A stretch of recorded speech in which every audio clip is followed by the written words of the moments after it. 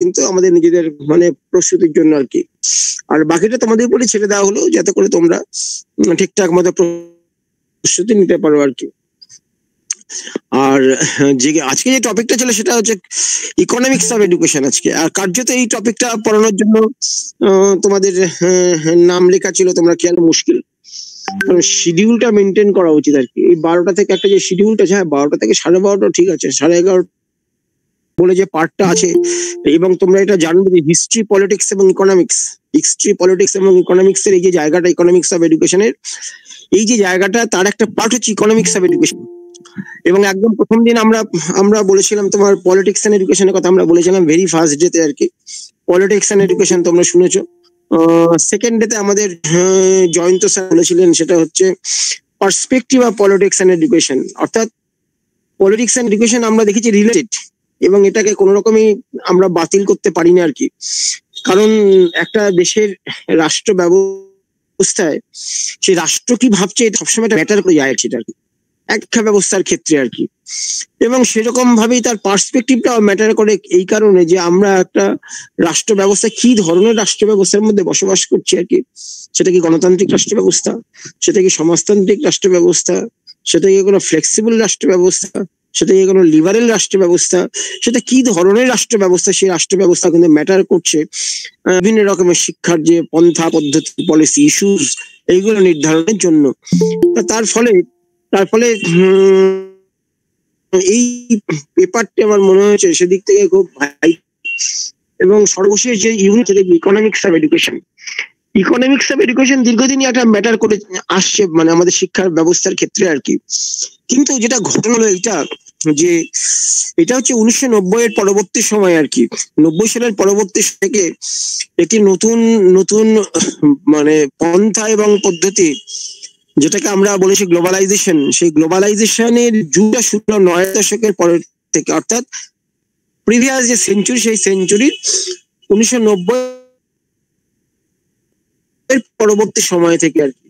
এবং উনিশশো নব্বই পরবর্তী থেকে যখন গ্লোবালাইজেশন শুরু হলো বিশ্বায়ন এই কনসেপ্টে যখন এলো সেই বিশ্বায়ন কনসেপশনের হাত ধরে কিন্তু আরও দুটো তিনটে কনসেপ্ট যে একটা গোটা পৃথিবীর পৃথিবীর যে দর্শন অর্থাৎ লাইক ওয়ান আমব্রেলা অর্থাৎ একটা একটা নির্দিষ্ট লেন্সের মধ্য দিয়ে গোটা পৃথিবীকে দেখার চেষ্টা করা। এবং সেখানে প্রসঙ্গক্রমে যে হচ্ছে বাজার অর্থনীতি মার্কেটিং ইকোনমি অর্থাৎ আমাদের ভারতবর্ষের স্বাধীনতার পরবর্তী সময় আর কি যেটা আমরা কিছুটা যেটা কিছুটা আমরা অর্থনৈতিক পন্থা, সেটা ছিল বেসিক কিন্তু মিক্সড ইকোনমি মিক্সড ইকোনমি মানে হচ্ছে, সেটা হচ্ছে সেটা কিছুটা ছিল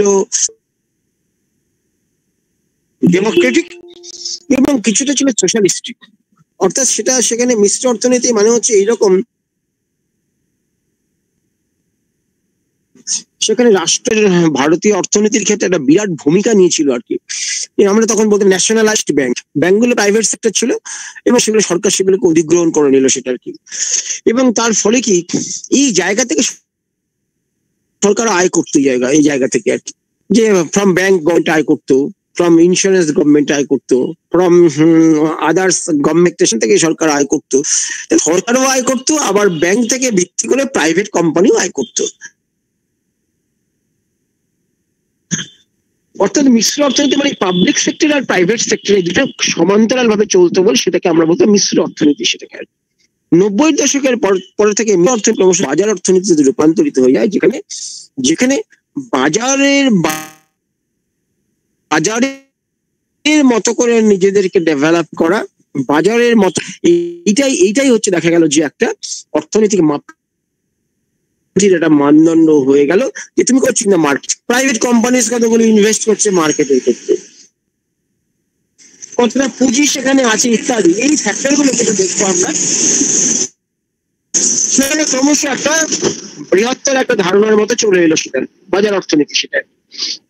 এবং নব্বই দশকের শেষে আমরা দেখব যে এই বাজার অর্থনীতির হাত ধরে, বাজার অর্থনীতির হাত ধরে আমাদের যে শিক্ষাটা বা এডুকেশনটা সেটাকেও একটাকে যে এডুকেশনটা হচ্ছে one of the component of marketing economy অর্থাৎ সেখানে আমরা আগে যেমন বলছিলাম ব্যাংক সেগুলোকে একটা সেক্টর হিসেবে আমরা কনসিডার করতাম।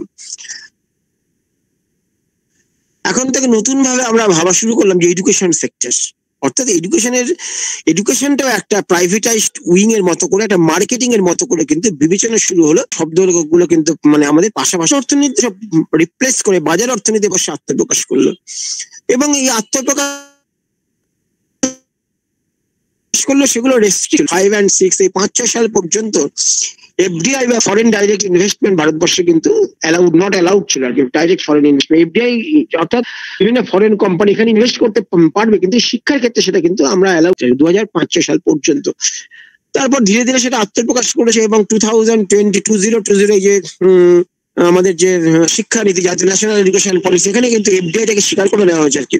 ফরেন ডাইরেক্ট ইনভেস্টমেন্টটাকে কিন্তু এখানে এখানে পলিসিগত ভাবে এডুকেশন পলিসিগত ভাবে দ্যাট ইজ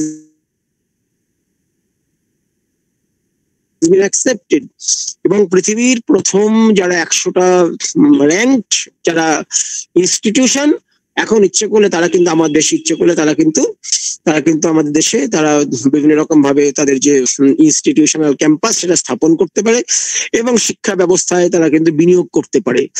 সুতরাং আজ আমরা দেখব এরকম বহু প্রাইভেট ইনস্টিটিউশন হম, সেটা পৃথিবীর বড় বড় শিক্ষা সংস্থা ভারতবর্ষে বিনিয়োগ করছে।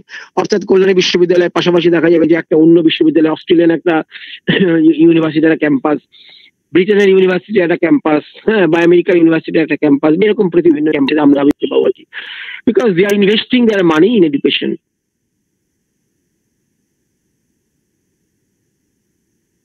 বিনিয়োগের মধ্য দিয়ে তারা কিন্তু এই জায়গাটা একটা চূড়ান্ত ভাবে একটা ব্যাখ্যা বিশ্লেষণ করবার চেষ্টা করছে। সুতরাং সুতরাং এই যে এই যে এই যে ভাবনাগুলো, এইটা কিন্তু নব্বই দশকের নব্বই দশকের থেকে আমাদের শুরু। এবং আজকে দু হাজার কুড়ি সালে এসে আমরা কিন্তু মনে করছি না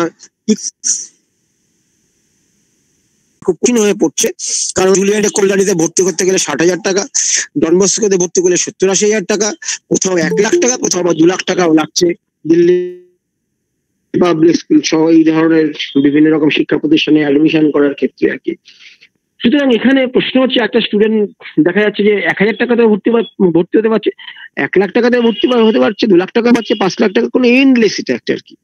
কোথায় যে কত টাকা ইনভেস্টমেন্ট আছে, সেই ইনভেস্টমেন্টের কোনো ব্যাকরণই নেই আর কি সেটা আর কি। সুতরাং এখানে কিন্তু এখন নতুন করে কিছু কিছু প্রশ্ন উঠছে, এই যে বিনিয়োগ আর কি। বিনিয়োগ ইকোনমিক্স অফ এডুকেশন এডুকেশনে এই বিনিয়োগের পরিমাণ। পৃথিবীর সমস্ত উন্নত দেশে, যে ব্রিটেন হোক বা আমেরিকা হোক বা অস্ট্রেলিয়া হোক, আমরা দেখেছি, সেখানে কুড়ি শতাংশ থেকে তিরিশ শতাংশ বিনিয়োগ তারা এডুকেশনে করছে। অর্থাৎ জিডিপি যেটা গ্রস ডোমেস্টিক প্রোডাক্ট যেটা আর কি জিডিপি একটা বড় অংশ তারা কিন্তু আর কি। হোয়ারাস ভারতবর্ষের চিত্রটা উল্টো, ভারতবর্ষে তো জিডিপি জিডিপিতে কন্ট্রিবিউট করতেই পারছে না। Whereas four percent six percent বা এই ধরনের কাছাকাছি একটা অর্থ গভর্নমেন্ট সেক্টর থেকে সেটা বিনিয়োগ হচ্ছে কিন্তু আমাদের সাধারণ মানে এই কমন সেক্টরে আর কি। তার ফলে এই যে একটা উল্টো চিত্র নিয়ে আমরা চলেছি দ্যাট ইজ দ্য কন্ট্রাডিকশন আর কি সেটা আর কি। এবং চার লাখ কোথাও, ছ লাখ কোথাও, আট লাখ টাকা তাকে দিতে হচ্ছে। So that is the question investment হচ্ছে একটা। এখন প্রশ্ন হচ্ছে, এই যে কস্টিং আমার হচ্ছে হোয়াট ইজ দ্য বেনিফিট বেনিফিটটা কি?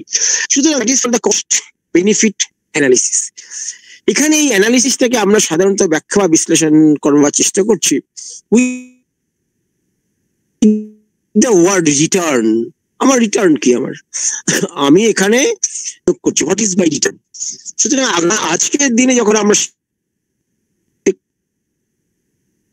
শিক্ষা ব্যবস্থার সঙ্গে যখন নিজেরা যুক্ত করবার চেষ্টা করছি, আমাদের ভাবনাগুলো কিন্তু আগের মতো আর থাকছে না সেখানে। সেখানে এই বিনিয়োগের পরিবর্তে কোন কোন খাতে টাকাটা ব্যয় করছি, কোন কোন খাতে আমার রিটার্নের সম্ভাবনা আছে, কোন কোন খাতে আমার ভালো বন্ধু আছে, কোন ইনস্টিটিউশনে পড়লে আমার রিটার্নটা বেশি হতে পারে ইত্যাদি বহু ভাববার ব্যাপার এখন।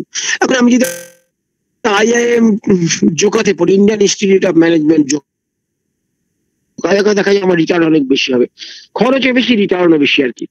আগামী দিনে এই প্রশ্ন উঠে যাবে। যাদবপুর ইউনিভার্সিটি পাঁচ নম্বর র্যাঙ্কিং আমরা আউট অফ হান্ড্রেড আগামী দিনে এই প্রশ্ন উঠে যাবে। যখন ইন্টারভিউ বলে দাঁড়াবে, যে which university you belong belong ranking out of hundred সুতরাং বলে please you are get out from the interview board সুতরাং ইন্টারভিউ বোর্ড থেকে you requested to get out বেরিয়ে যাও। কারণ হচ্ছে, যারা হান্ড্রেডের বাইরে মানে তোমার না আছে কোনো টিচিং না আছে লার্নিং না আছে infrastructure you have nothing so you are requested to going out from report কারণ যে পাঁচ আছে আর যে একশো সতেরো, তো একশো সতেরোকে নিশ্চয়ই আমরা ইনভাইট করব না, যে পাঁচ, দুই, তিন, চার যারা আছে তাদের ইনভাইট করাবে। গোটা পৃথিবীতে এইভাবেই চলছে। যার র্যাঙ্কিং যত বেশি, তার কস্টিং তত বেশি। গোটা পৃথিবীর যে বিভিন্ন বিশ্ববিদ্যালয়গুলো আছে বিভিন্ন- তুমি ভাবলে যে আমি অক্সফোর্ড ইউনিভার্সিটি ম্যানেজমেন্ট নিয়ে পড়ব, ঠিক আছে? দুটো সেমিস্টার এক একটা সেমিস্টারে খরচ পঞ্চাশ লাখ টাকা করে আর তাহলে পঞ্চাশ লাখ টাকা পার সেমিস্টার দুটো সেমিস্টার মানে ওয়ান ক্রোর এবার বলবে ওয়ান ক্রোর তুমি পাগল নাকি? এক কোটি টাকা দেবে পাগল কেউ না। সত্তর লাখ টাকা পার মান্থ মাইনে।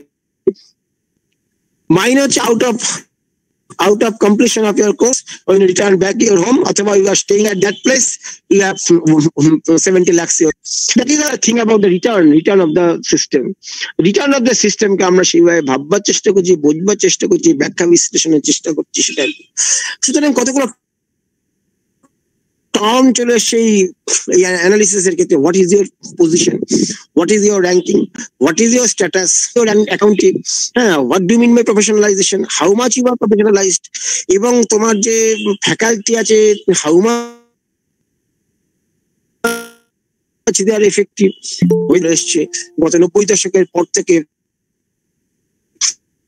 ভারতীয় সহ আন্তর্জাতিক শিক্ষা ব্যবস্থায় যেখানে এটা ম্যাটার করছে, আমার যে কস্টিং আমার যে বিনিয়োগ, আমার যে ইনভেস্টমেন্ট একটা সিস্টেমের ক্ষেত্রে এটা how much effective in terms of return দেখার চেষ্টা করছে that is that is called that is called that is benefit analysis that is called cost benefit analysis ঠিক আছে? সুতরাং এইটাকে আমরা কস্ট বেনিফিট অ্যানালিসিস এর মধ্যে দিয়ে ব্যাখ্যা, আমরা তোমাদের একটা একটা এখানে আমার